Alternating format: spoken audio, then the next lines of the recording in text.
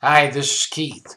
In 2011, we're going to start bringing you some teaching tips, particularly at the early part of the year when everybody's thinking about goal setting and, and what they want for the coming year.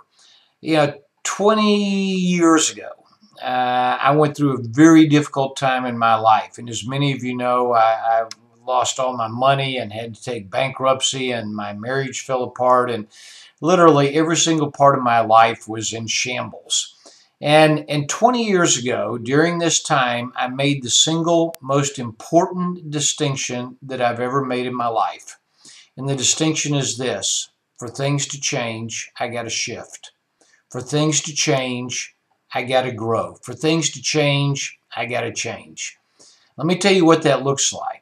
If you want a better life, you need better choices the better your choices, the better your life. If you have lousy choices, you have a lousy life. If you have great choices, you have a great life.